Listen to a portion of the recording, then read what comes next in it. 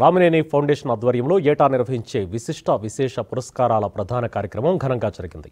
గతేడాది కరోనా వల్ల అవార్డుల కార్యక్రమం రద్దు కాగా రెండు సంవత్సరాలకు సంబంధించిన అవార్డులను ప్రదానం చేశారు. ఈ కార్యక్రమానికి ముఖ్య అతిథిగా supreme court chief justice N V Ramana హాజరయ్యారు. వివిధ రంగాలలో విశేష సేవలందించిన వారికి పంతొమ్మిది వందల తొంభై తొమ్మిది నుంచి పురస్కారాలు అందిస్తున్నట్టు doctor Ramineni foundation chairman Ramineni Dharma Pracharak చెప్పారు. ఫౌండేషన్ ఆధ్వర్యంలో ఇరవై రెండవ వార్షికోత్సవ పురస్కారాలను అందజేశారు. కరోనాతో రెండు సంవత్సరాలు వాయిదా పడిన రామినేని ఫౌండేషన్ విశిష్ట పురస్కారాల ప్రదానం నేడు అట్టహాసంగా జరిగింది. హైదరాబాద్ గచ్చిబౌలి అన్వయ కన్వెన్షన్ సెంటర్లో వైభవంగా జరిగిన పురస్కారాల ప్రధానోత్సవానికి supreme court chief justice N V Ramana ముఖ్య అతిథిగా హాజరయ్యారు. రెండు వేల ఇరవై ఒకటి సంవత్సరానికి గాను భారత్ బయోటెక్ ఎండి కృష్ణ ఎల్లా జేఎండి సుచిత్ర ఎల్లా విశిష్ట పురస్కారం అందుకున్నారు. అలాగే తెలుగు సినీ హాస్య నటుడు బ్రహ్మానందం నిమ్స్ ఆసుపత్రి anaesthesiology విభాగాధిపతి professor doctor Durga Padmaja Telugu cinema journalist S V రామారావులు విశేష పురస్కారాలు అందుకున్నారు. తండ్రి గారి నుండి జన్మతః అబ్బిన చిత్రకళా నైపుణ్యంకు మీరు కరోనా కాలంలో సమయం కేటాయించడం బ్రాహ్మణ కోడూరు నుండి భారతదేశం గర్వించే స్థాయికి పుట్టిన ఊరిని మట్టి రుణం తీర్చుకోవడం కంటే గొప్ప విషయం ఏముంటుంది? గుంటూరు జిల్లాలోని బ్రాహ్మణ కోడూరు వాస్తవ్యులు మాటల మాధురిమలతో తెలుగునాట వినోదాన్ని పరిమళభరితం చేయడం గ్రేట్ అచీవ్మెంట్. ప్రముఖ వైద్య నిపుణులారు ప్రొఫెసర్ పర్యావేత్తగా మీరు చేసిన కృషి అపారం. హిందూ సంప్రదాయంలో ప్రపంచవ్యాప్తంగా పరిచయం చేసిన రామినేని ఫౌండేషన్ సేవలు ఎంతో అభినందనీయమన్నారు జస్టిస్ ఎన్వి రమణ.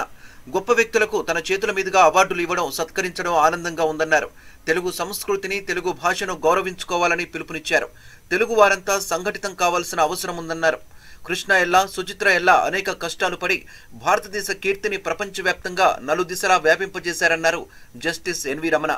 ఈ రామనేని ఫౌండేషన్ వారు మరి ఆయన దాదాపు ఎన్నో సంవత్సరాల కింద పంతొమ్మిది వందల యాభై ప్రాంతంలోనే ఈ దేశాన్ని వదిలిపెట్టి అమెరికా దేశం వెళ్ళినప్పటికీ కూడా ఆయన హిందూ ధర్మాన్ని హిందూ సంస్కృతిని ప్రోత్సహించాలా?